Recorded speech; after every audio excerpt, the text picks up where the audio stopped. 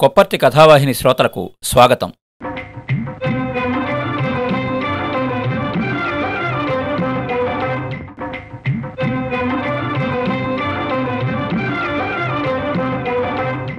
దీపతోరణం సుప్రసిద్ధ రచయిత్రుల కథానికలు. ఈరోజు మనం వినబోయే కథ దానం. రచయిత్రి డాక్టర్ విఎస్ రమాదేవి. దానం కథ. సార్ మా అమ్మ సాయంత్రం వస్తోంది. మీరు తప్పక శర్మగారితో చెప్పాలి సార్. లేకపోతే ఎవరు మమ్మల్ని ఇక్కడ లక్ష్య పెట్టరు అన్నాడు మూర్తి ప్రాధేయపూర్వకంగా జగన్నాథం గారి దగ్గర డిక్టేషన్ తీసుకుని. రాని రాని చూద్దాం. ఎప్పుడు సాయంత్రం రావడం? నేను ఫోన్లో చెబితే బాగుండదు కానీ రేపు సాయంత్రం హోమ్ సెక్రటరీ ఫట్కేన్ చూడడానికి వెళ్తున్నాను.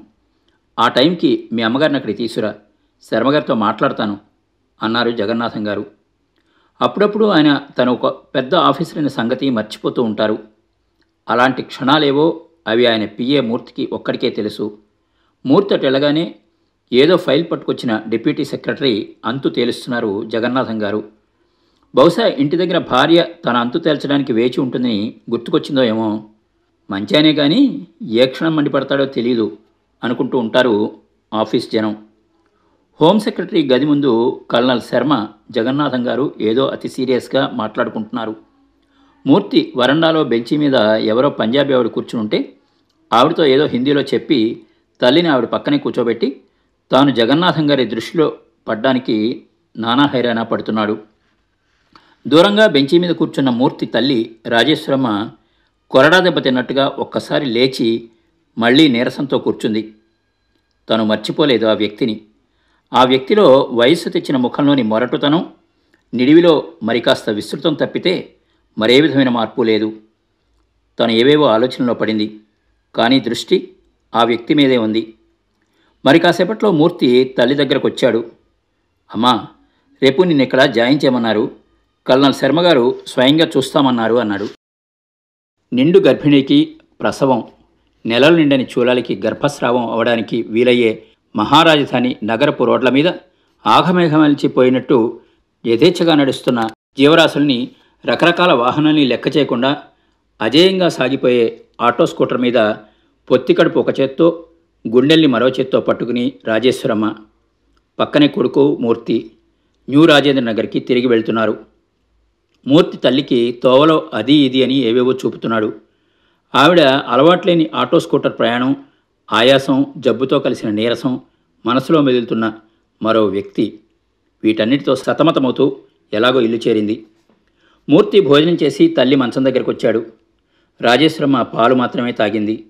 కోడలు పిల్లల్ని నిద్రపుచ్చుతోంది. రాజేశ్వరమ్మకి కల్నల్ శర్మతో మాట్లాడుతూ కనబడిన ఆ వ్యక్తిని గురించి ఎలా అడగాలో అర్థం కావడం లేదు. అడగకుండా ఉండనూ లేదు.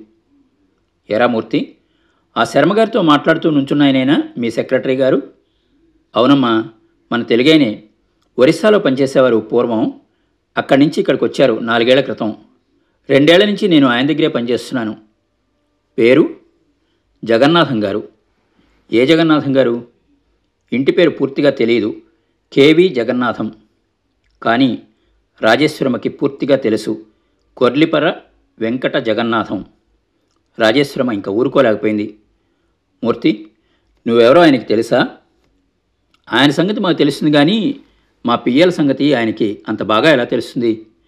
ఓసారి ఏదో మాటల మీద ఏ ఊరో మీది? అని అడిగారు. బొబ్బిలి అని చెప్పాను. ఓ మా ఊరేనా? అన్నారు. మరోసారి ఎప్పుడో ఎవరి పిల్లవాడి నువ్వు? అన్నారు. నాన్న పేరు కృష్ణమూర్తి గారని చెప్పాను.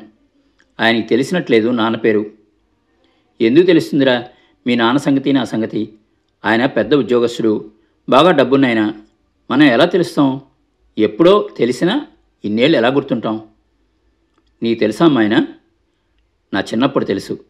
ఆయన ఆయన అన్న వాళ్ళకి నా ఈడు చెల్లెలే ఉండేది. మేమిద్దరం ఆడుకునేవాళ్ళం. తర్వాత నా పెళ్ళైపోయింది మీ నాన్నతో.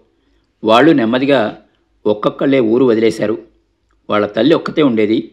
కొద్ది కాలానికి ఆవిడ పోయింది. తల్లి నిద్రలో పడిందనుకొని కొడుకు పడుకోవడానికి వెళ్ళిపోయాడు. ఏనాటి జగన్నాథం? ఈనాటికి మళ్ళీ తారసపడ్డాడు.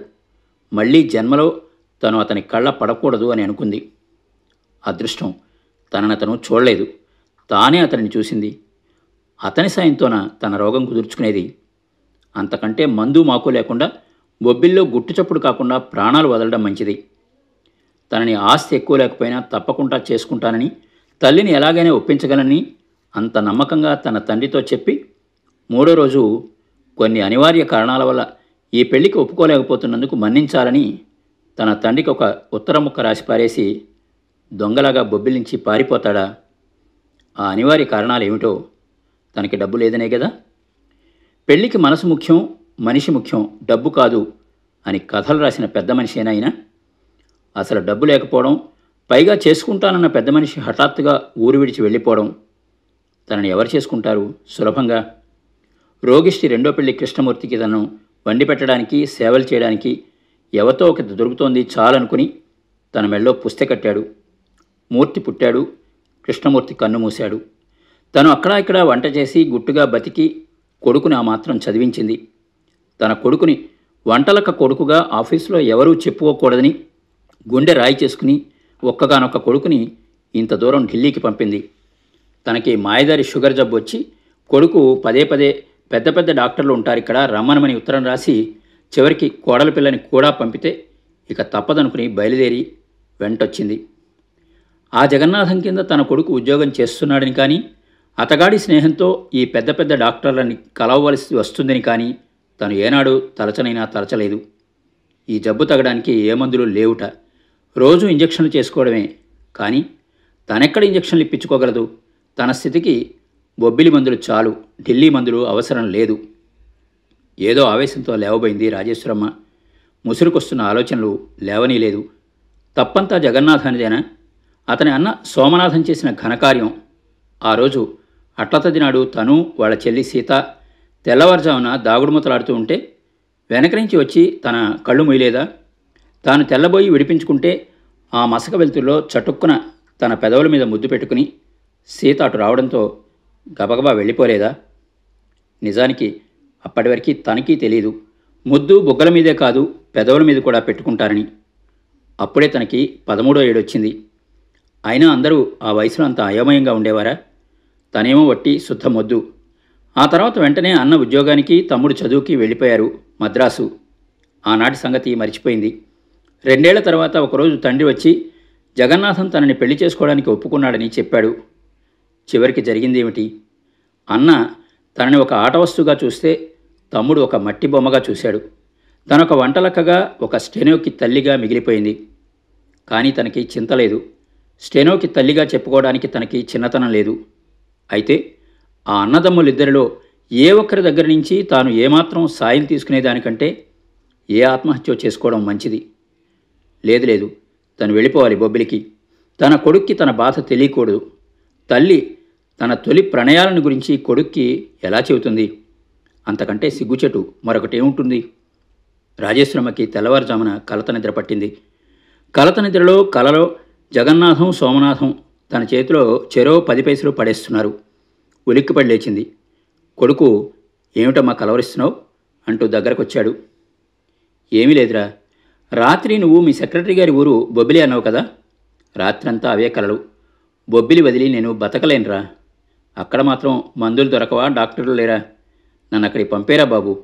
ఇక్కడ ఈ ఢిల్లీ చలి ఈ ఒక్క రోజులోనే ప్రాణాలు తోడేసింది అన్నది ఆయాసపడుతూ రాజేశ్వరమ్మ. మరో పది రోజులకి జగన్నాథం గారు అతి సంతోషంతో కాఫీ బోర్డు నుంచి వెంటనే కాఫీ తెప్పించమని పిఏ మూర్తికి హుకుం జారీ చేశాడు. మరుక్షణమే డిక్టేషన్కి రమ్మని మరో హుకుం. మూర్తి ఆనందంతో వెలిగిపోతున్న జగన్నాథం గారి ముఖం ఎదురుగా కొంచెం ఇంచుమించు అదే పోలికలతో ఉన్న మరో పెద్ద మనిషి ముఖం చూసి నిలబడిపోయాడు. రారా మూర్తి ఫైనాన్స్ సెక్రటరీకి డీఓ ఒకటి పంపాలి. ఇంతలో ఆ పెద్ద మనిషి ఎవరో నీ పిఏ తెలుగతనేనా? అన్నాడు. మన బొబ్బిలే. బొబ్బిలి మనుషులు నాకంటే నీకే అందరూ బాగా తెలుసు. వాళ్ళ నాన్న రాచకొండ కృష్ణమూర్తిట. అన్నట్టు మీ అమ్మగారికి ఎలా ఉంది? ఏమన్నారు శర్మగారు? మా అమ్మ గొడవ పెట్టి బొబ్బిలి వెళ్ళిపోయిందండి. ఈ చలి తనకి పడదని చెప్పి ఎంత చెప్పినా ఉండలేదు. పోనీ మీ ఇంటికి తీసుకొచ్చి మీతో అయినా చెప్పిస్తే వింటుందేమో అనుకుంటే ఎంత బతిమాలినా ఒప్పుకోలేదండి. ఏం పేరు మీ అమ్మగారిది? అన్నారు ఆ కొత్తగా వచ్చిన పెద్ద మనిషి. రాజేశ్వరమ్మ సార్. మీ తాతగారి పేరు అంటే మీ అమ్మగారి నాన్నగారి పేరు కూచిమంచి రుద్రయ్య గారు. పెద్దలిద్దరూ తుళ్ళిపడ్డారు. నుదుర్లు చిట్లించారు. సార్ డీవో అన్నాడు మూర్తి. తర్వాత చూద్దాం. కాఫీకి చెప్పావా? మీ అమ్మగారికి చెప్పావా? మాది బొబిలే అని? చెప్పాను సార్. మిమ్మల్ని మా అమ్మ ఆ రోజున ఆసుపత్రిలో చూసింది. మీరు తనకి తెలుసునని మీకు ఒక అన్నగారు చెల్లి ఉండేవారని కూడా అన్నది. ఈయనే మా అన్నగారు. ఈవేళ మద్రాసు నుంచి వచ్చారు. సరే నువ్వు వెళ్ళు కాసేపు అయ్యాక పిలుస్తాను. కాసేపటికి తెచ్చిన కాఫీ కప్పు నోటికి అందించుకుంటూ బహుశా జగ్గు నేను అంత సెంటిమెంటల్గా ఉండి ఉండాల్సింది కాదేమో. ఆ రోజుల్లో అంతగా ఏమీ ఆలోచించకుండా చిలిపిగా రాజేశ్వరిని ముద్దు పెట్టుకోవడం పొరపాటే. అయినా ఆ సంగతి నీతో చెప్పకుండా ఉండాల్సింది. ఆ వయసులో ఆ రోజుల్లో ఇంత ఆలోచన ఎక్కడిది చిలిపితనం సెంటిమెంట్సు పాపభీతి కోరికలు అన్నీ కలగాపులగంగా ఉక్కిరిబిక్కిరైపోయిన ఆ రోజుల్లో నేనేం చేశానో? నా చేష్టల వల్ల మరొక జీవితం ఎలా మట్టిపాలవుతుందో నేను ఆలోచించలేదు. నేను చేసింది పొరపాటుని వెంటనే తెలిసింది. అదే పిల్లని నువ్వు చేసుకుంటానంటే అసూయ కలగలేదు.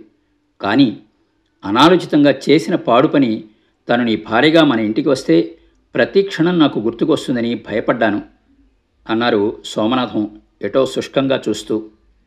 నిజమే అన్నయ్య నువ్వు కాదన్నా ఇది పెద్ద విషయమేమీ కాదు అని మొండికేసి నేను రాజేశ్వరిని అన్నప్రకారం చేసుకుని ఉన్నా బాగుండుండేది ఈ రకంగా నేను ఆ రోజుల్లో ఆలోచించలేకపోయాను అన్నారు జగన్నాథం గారు ఎటో జీవం లేకుండా చూస్తూ. కనీసం మనం కొంత రాజేశ్వరికి ఈ సమయంలో ఆర్థికంగా అయినా సాయపడాలి మూర్తి దగ్గర అడ్రస్ తీసుకో. రెండు వేలు పంపిద్దాం అన్నారు కనీసపు పరిష్కారంగా సోమనాథం గారు. పది రోజుల్లో పంపిన రెండు వేలు పదిలంగా తిరిగి వచ్చాయి చిన్న కార్డు ముక్కతో పాటు. మీ అన్నగారి సలహాపై మీరు చూపిన దయకు ధన్యవాదాలు. దానాలు పుచ్చుకునే వంశానికి నేను చందను రాజేశ్వరి అంటూ రాసి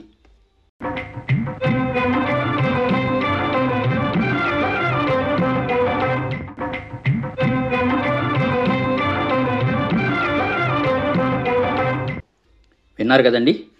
డాక్టర్ విఎస్ రమాదేవి గారి రచన దానం కథ. మరో మంచి కథతో మళ్ళీ కలుద్దాం. అంతవరకు సెలవు. మీ కొప్పర్తి రాంబాబు విశ్రాంత ఉద్యోగి ఇండియన్ బ్యాంక్ విజయవాడ.